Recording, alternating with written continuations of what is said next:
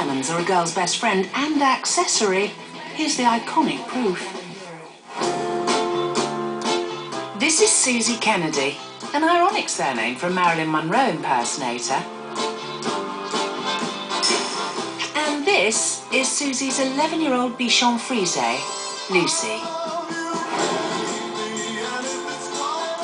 Do you know, people say diamonds are a girl's best friend. I would pick Lucy over a diamond any day. Lucy isn't just a pet. Suzie's made her part of the Marilyn Monroe lifestyle. Lucy's great as a Marilyn accessory because she's so similar to Marilyn's real dog. She takes even more grooming than the real Marilyn did. Lucy, that is. Nothing's too much for her. When we're out together, we've both got to look, you know, a million dollars. So I always take her to my friend Heidi's, and uh, she gets really the best treatment.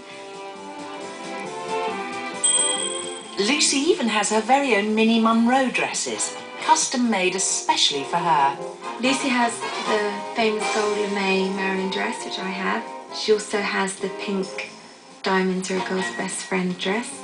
Lucy's also got Marilyn's famous seven year itch white dress, which was the one that blew up over the grate in New York. They're actually half the price cost to get a human one made, which is very expensive considering she's that big and this big.